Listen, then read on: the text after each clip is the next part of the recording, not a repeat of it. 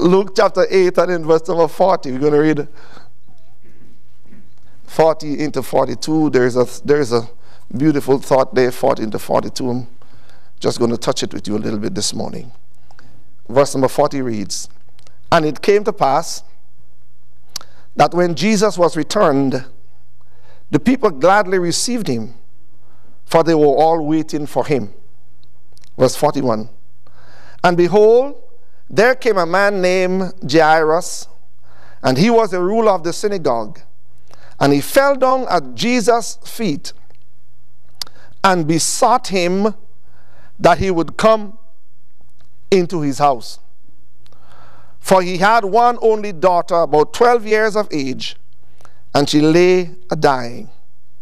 But as he went, the people thronged him. Now, if we continue reading, we're going to get another um, incident, another occasion of Jesus' mighty hand at work. I want you to notice in verse 41 towards the end, the Bible says, And he fell down at Jesus' feet and besought or begged him that he would come into his house. The little thought for a little while this morning is visit my house, Lord Jesus. This is Jairus' request that Jesus would go with him back to his house. I believe with all my heart that what we look here at the Lord, G- as, uh, the Lord Jesus Christ and the request made by a ruler of the synagogue, we can get something out of that for our own lives. As a matter of fact, we could use a very own expression visit my house, Lord Jesus. Because the same Jesus that visited Jairus' house would visit your house and my house just as well. Right. What I want us to notice here quickly is that there is a waiting crowd. Mm-hmm. The text tells me in verse 40, it came to pass that when Jesus was returned, the people received, the people gladly received him, for they were all waiting for him.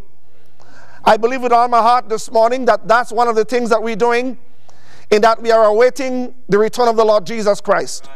The next thing, as far as I'm concerned, on God's calendar is the appearing of the Lord Jesus Christ to take us home to be with him. I've been listening to great preachers. I, I listened to Dr. Clarence, not Clarence, Dr. Ralph Sexton Jr. Excuse me. This week, or last week, as he dealt with what's happening in Israel. And looking at it, I, I was just fascinated to think if all of this is just preparation for the return of the Lord Jesus Christ, well, even so, come Lord Jesus. The church ought to be like that crowd here awaiting the return of the Lord Jesus Christ. But while the church is waiting, verse number 41 says, there is a need. People in the waiting crowd still have needs that the master could attend to. Right. They are waiting for him. And here is Jairus. He is a ruler of the synagogue. A person's position does not exempt him from having a great need that only Jesus could attend to a person's power doesn't, doesn't exempt him from having a great need that only Jesus could attend to. Right. A person's prestige does not exempt him from having a need on the inside that only God could attend to. Right. Jairus had a need. What is his need? The Bible says he has one only daughter, about 12 years of age, right. and she's lying home in a bed dying. It is on that backdrop that Jairus is saying to Jesus, You've got to come visit my house. You've got to go home with me. Because if you don't go home with me, what I have home is going to die and I'm going to lose it. What I have home, it, it, it, going to, there's going to be imminent death if you don't go home with me. Jesus, if you don't attend to what I, I need at my home, I'm not going to be able to deal with what I'm going to have to deal with. You've got to go home with me. The Bible says he falls down at his feet and begs him. I know we could look at the reverence, we could look at the worship, we could look at his adoration, we could look at Jairus' understanding that Jesus is indeed qualified to go home with him to help him. Yeah. The truth be told, Jairus makes a request and there is a crowd. Why didn't he say, well, somebody else may have wanted it? Listen, no, what Jairus is making sure he, he, he, he makes clear that he's going to make his need known to the master. It doesn't matter what others think, I believe he's going to make his need known to the master. And I believe I can say this to us this morning. Sometimes we, we, we think that our need cannot be addressed or attended to. The, the Lord, the, the, God we serve is able to attend to your need, your need, your need, your need at the same time. You say, preacher, why do you say that? In the context of the passage, Jesus is just coming back from across the, the sea to deal with a man who had demons. He gets back into the area, there are people waiting for him, and while he gets back, there is Jairus asking him. While he goes with Jairus, if you go down in verse number 43, he, there is a woman who had an issue of blood for 12 years. What did he do?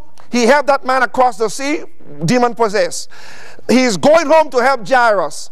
But he also helped the woman who had issue of blood. He attended to everybody's need. I want to make sure I say this this morning that none of us would ever have a need that we cannot mention before the throne of God or we cannot ask Jesus to go home with us and attend to as he is fully qualified and able. Jairus says, I want you to go home with me because if you don't go home with me, death is going to be imminent. When I, when I look at the Bible and I see those things, I cannot sometimes go into a little meditation and I have to go back to Brother Presley. One of the men who came out of our church, and you know well, is Brother Presley. Brother Presley would take a Bible verse and he would sit down over it for half an hour, an hour, one verse, watching it, talking, watching it, talking. And we've adopted that. A lot of us in church have adopted that. When you do that with this verse, the little word house comes jumped up to me. I want you to go back to my house. Then my, my thought rush, rushed into, huh, He's asking Jesus to go to his house. But I could find other places in my Bible where the word house is used, and it, it is not necessarily the place that I dwell. Every house, however, could ask the same or make the same request. That is, Jesus, I need your visit. Three houses or four houses that could, we could quickly use, and I'm watching the time and I'll be done. Number one, you as an individual. Doesn't the Bible tells us the house in, in, in, in Corinthians or earthly, or earthly house of this tabernacle? Yeah. That's you individually. Right. You individually. That's, that's me.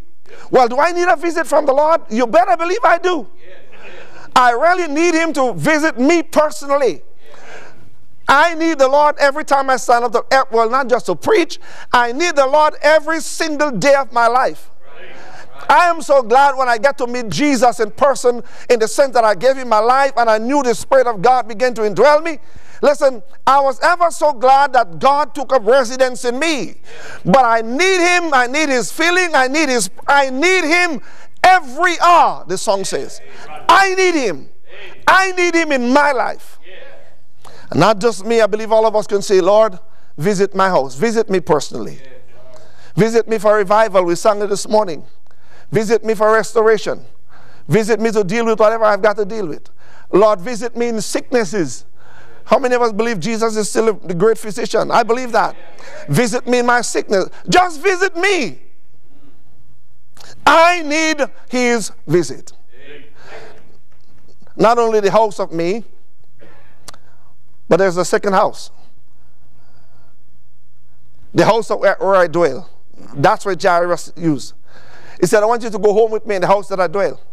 In other words, in that case, in where we are in Luke chapter number 8, Jairus himself didn't need the, the, the attention. Right. But there was somebody else in the, in the house where he lives. Yes. Let me ask you a question. Is all well in the house where you live? Good. Is everybody in your house doing well? I'm afraid that that might not be the case in every, in every home.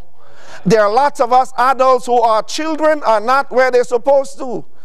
There are a lot of par- lots and lots of parents whose heart, whose heart hurt them because of where our children are. We don't want them there, but it seems that we cannot make any impact to have them transformed. Right.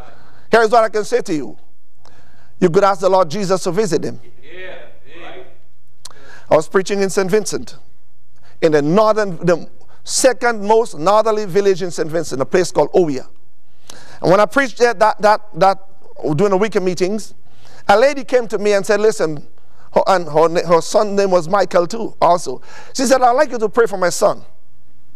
She said, my son left home, finished high school, and went out into the forest to plant marijuana. And I said to her, I said, I am not, we're watching the mountains up there. I am not going to go to the mountains, and you cannot go to the mountains. But I'm telling you, there is someone who can go to the mountains, and they cannot stop him from coming to the mountains. Right.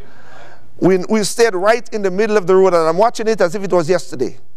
And we prayed for her son in the mountain. All right, I went home, and I went back maybe a year or two years after, doing another revival for, for Hope Baptist Church. And she came, she said, Remember me? I said, Yeah, partially. She said, Well, listen, my son came down from the mountain. And not just come down from the mountain, he came down from the mountain and he went and joined the St. Vincent and the Grenadines police force. We serve a God who could attend to what we cannot attend to even in our family. But we've got to be bold and honest enough to ask Him. Ask Him to visit my house. Not just complain that my house is not in order. Ask Him. There's a third house, and that is the house of God. In second in First Timothy 3.15 it says, If I tarry long, yeah. that thou mayest know how thou oughtest to behave thyself in the house of God. This is the house of God. Sure. Sure. We're not going to talk about behavior in the house of God. We're talking about asking for a visit. Yeah. Well, wow, wow. I hope this church, I've seen you, I've looked at you, you've got great, but I hope we, we, we, are, not, we are not complacent. We need to get to the place where we constantly ask God, visit the church. We do, I do not want church for its rituals. I want church for a visit from the Master that He would attend to us. He'd speak with us. He'd challenge us. He'd show us our wrong. He'd show us where to go. Visit our church. And I've read about it where many of the older women in churches gone by had, and I figure out in a lot of black churches, had a mourner's bench. Yeah. And before the church service start, they would come and they'd line up on that mourner's bench. Yeah. And they'd be moaning and groaning and begging God, Lord, help my preacher. Yeah. Church didn't start yet. Lord, preach my preacher today, Lord. God, show yourself. And they're begging God so that the preacher, when he gets up to preach, would give them what God would want them to have. Amen. They're asking God to visit the church even before service started. Yeah. We need that. Visit my church. And if you want, if you're not uh, uh, afraid to mention it, the house of Israel. That's not you. That's not your family. Right. That's not your church. Right. That's the nation of, and that's a good time to mention it. We need to pray for Israel now, according to Psalm 122, right? right. Pray for the peace of Jerusalem. Israel is at war. But the house of Israel is used, is used the word house is used there as a nation. Yes. Israel needs a visit now, a, strong, uh, a help from the Lord in their battle. Sure. But as a nation, if we don't say Israel, you could use America. Sure. Yeah. Yes. Somebody needs to say, Lord, visit my nation. Visit my nation.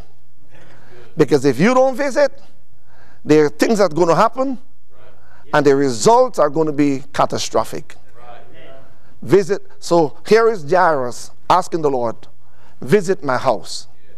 Jesus visits, and when you read the end of the story, he picked up the little girl and gave her back to her parents alive and well. Visit my house, Lord Jesus. Let's pray. Father, we thank you for the time we've had this morning. I pray you would help to strengthen this church, strengthen me, strengthen us. Father, cause that we would become very involved in wanting the work on your word. Visit us this morning. Strengthen our church, strengthen this church. Together we pray. In Jesus' precious name. Amen. Preacher. Did you know that IBC is now on iTunes, TuneIn, SoundCloud, and Google Play? Head on over to your podcast provider and subscribe today. And as always, thanks for listening.